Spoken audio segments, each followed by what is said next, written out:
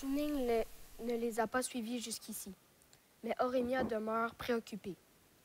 Longtemps, elle scrute l'horizon en espérant recevoir un signe que la grande baleine a entendu leur appel. En vain. Il n'y a que ce pauvre Garuda qui, vogue- au loin. Son glacier encore rétréci. Aurémia sent une grande fatigue envahir son corps et son cœur. Dors, je resterai près de toi, lui chuchote. Étendue près de la mer, la brise du nord caressant ses joues, elle se laisse gagner par le sommeil. Aurémia rêve. Comme toujours, elle plonge au fond de l'océan. Elle va rejoindre la grande baleine endormie, celle dont le dos est attaché à la croûte terrestre. Mais cette fois-ci, quelque chose a changé. La baleine l'attend. Elle est libre et bien réveillée. Et Aurémia connaît enfin son nom, Nioma. Aurémia rêve toujours.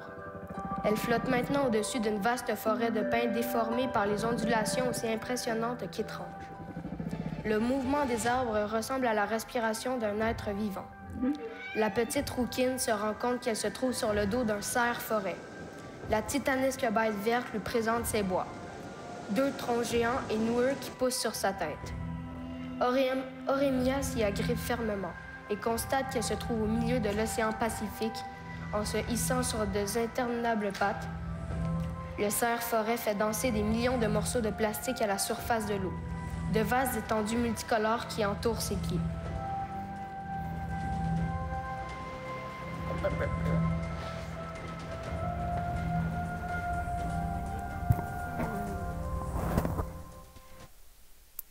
I always been a wild child, a dream chaser, a poet. And thanks to my father, who brought me in epic walks in the forest, telling me stories that involve all my five senses and invoked all the physical elements of nature. He taught me the craft and love of visual thinking and of music and its impact on the human mind.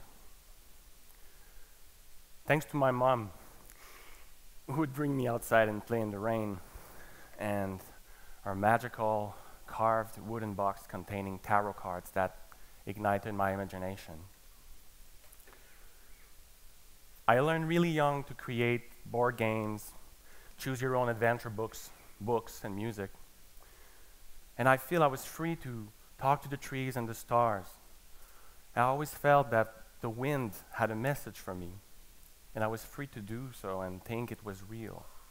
My parents let me live that wild child fantasy. I feel I was born to tell highly contagious stories, to awake dormant imagination in humans. I feel I was put on earth to make you all remember that's why it's so great to live on earth right now. But why does this matter to me and maybe to some of you? When I became a father myself, my first child, Alice, had asthma. For three years, every month, I was in the emergency room with her. In that very captive environment, I was vulnerable, and I didn't apply a very disciplined approach to interactive screen. I tried to cope with lack of sleep and new ideas to entertain a sick kid. And you know, a, a sick kid is always more healthy than, a, than an adult. So uh, I lost control a little bit, and like Alice became addicted to, to her iPad. I thought that my expertise in multi-platform storytelling would have helped me avoid this situation. But it was such that Alice had to be on program. I had to completely relearn how, what is the role of technology in a kid's world, and I needed to teach her how to control her urges. Obviously, this had a profound impact on my work, but al- it also triggered a very painful memory. 16 years ago, I was working 100 hours a week, and I had a late night call. I worked in networking and hosting company. There was a network crash. I arrived there, red light blinking, thousands of them, roaring of the ventilation system. Very evil. And I could not even fathom the fact that if there was a fire in that room, there would be no hair. There was a mechanism to remove hair. It was anti human. I wasn't that forest of server, but seriously, all I wanted to be was in a forest of trees at this moment. That very night, after the nervous breakdown, I wanted to be obsessed with humans. I was no longer obsessed with computers at all. I felt that all the poetry that my parents gave me just came back and says like, you're a poet. You're not a network specialist. So that freak out led me to realize I needed to inject poetry and empathy in the system surrounding me to make this ubiquitous computing era that was arriving more human.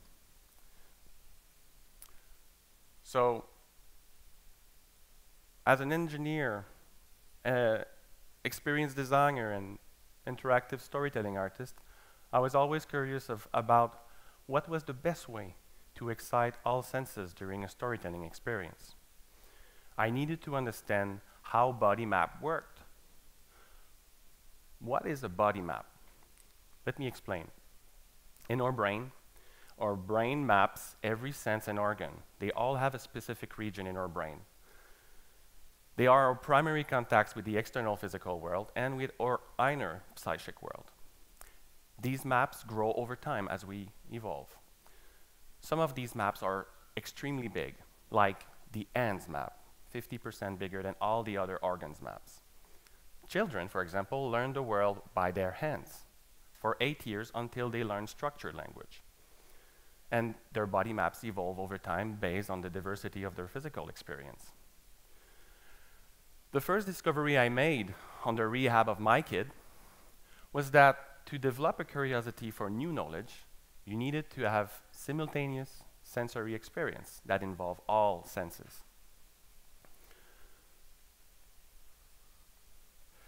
But Alice was addicted.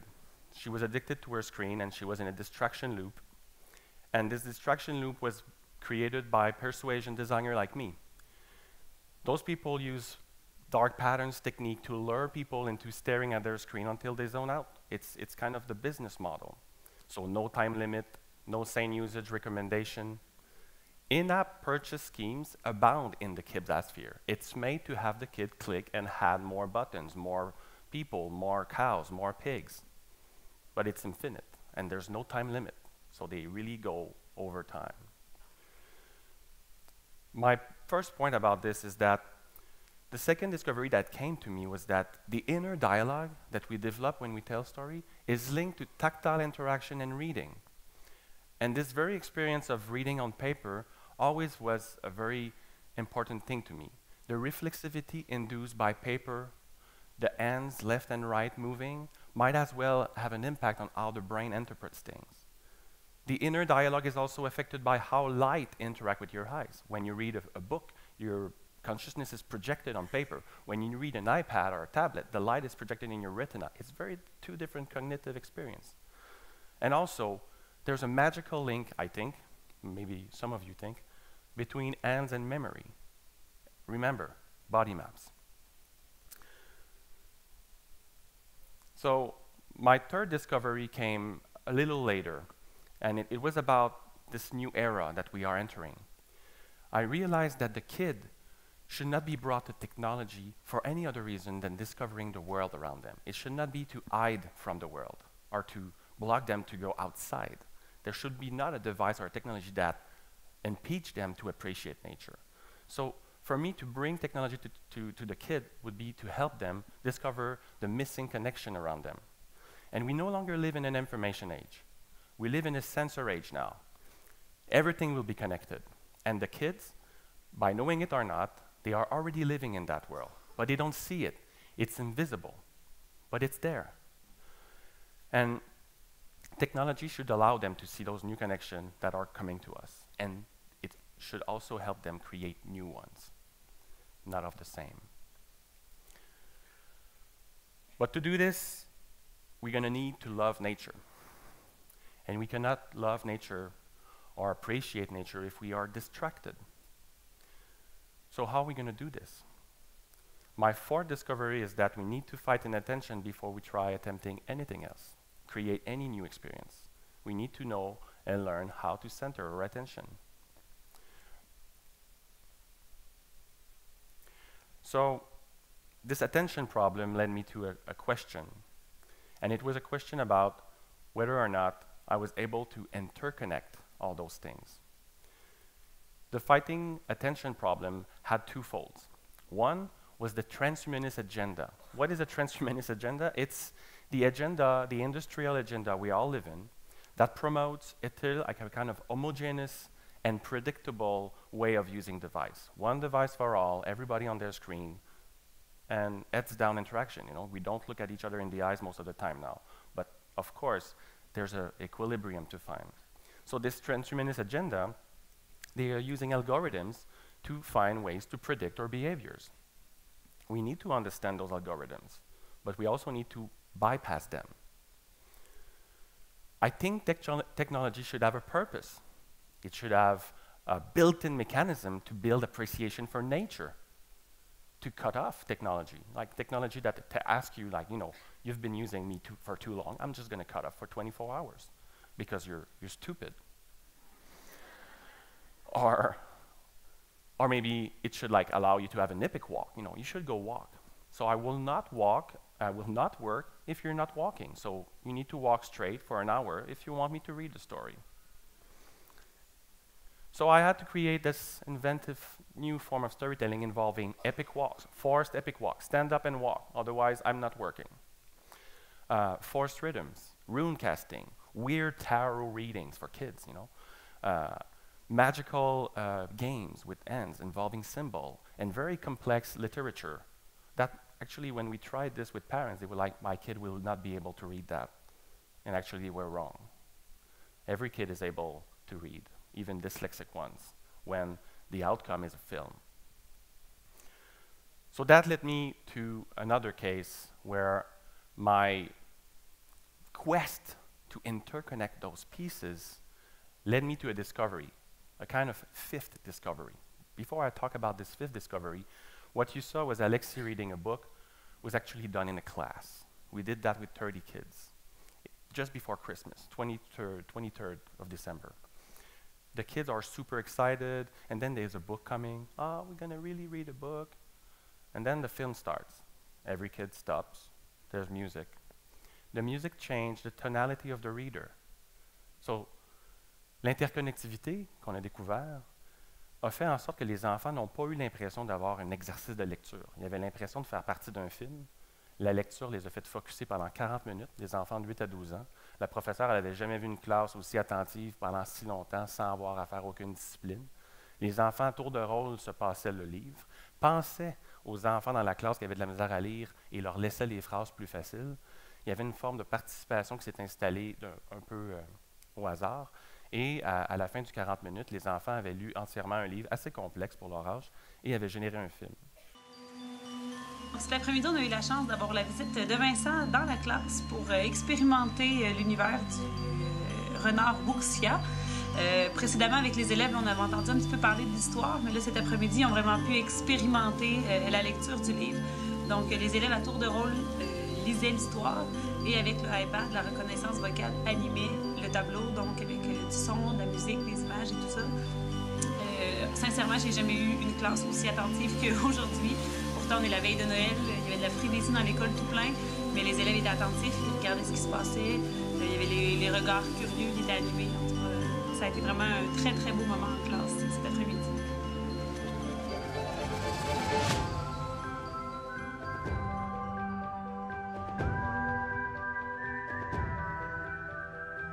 Donc, euh, d'un point de vue euh, pédagogique, dans une classe, c'est une petite merveille assurément là, pour euh, donner le goût de la lecture ou conserver le goût de la lecture chez les jeunes. Euh, l'histoire est captivante, le vocabulaire est recherché. Aussi, ça donne la chance à l'élève de lire à voix haute. Dans ce cas-ci, c'est une expérience interactive, donc il y a un but. En plus de lire à voix haute, il y a la stimulation de voir l'application s'animer. Il y a une élève cet après-midi qui était un peu gênée, un peu timide en classe. Habituellement, elle ne veut pas trop lire parce qu'elle a des difficultés en lecture. Oups, elle a levé la main, elle est allée lire. Elle a même été très fière d'elle de voir que l'application pouvait reconnaître sa lecture. dans son visage, ça valait tout l'or du monde de voir que cette petite fille-là, elle avait vraiment eu le plaisir de lire. C'était pas un fardeau, c'était vraiment de l'amusement. Cette expérience-là nous a amené à une cinquième découverte. Cette cinquième découverte-là, c'était le fait que quand on lit à voix haute, on ancre les gens dans le présent. Et la voix, la, la voix, elle n'est pas utilisée tant que ça aujourd'hui. On pourrait l'utiliser plus. Donc, c'était un des points forts qu'on voulait faire, c'est que l'ancrage dans le moment présent, the spoken voice is what puts you in the present moment. This is what grounds you. This is what gives other people an emotional resonance to what you're living inside. This is what triggers the inner dialogue in every one of us. If you don't hear me talking, you're not talking inside your head. But now you do, all of you. Either this guy is crazy or this guy, this guy's interesting, but then it goes further because I'm affecting the emotion you put on the words I have. So this fifth discovery led me to a very important statement. When I developed my technology, I wanted to have a simultaneous sensory experience, not just touch, not just hearing, not just feeling. All my organs should be involved in different parts of my brain. I'm very grateful for my parents that taught me the importance of mixing multiple senses during a storytelling experience. And today, Alice is five, and she has been learning to control technology. Lately, she told me, Dad, it's no longer time for screen. It's time to play now. Thank you.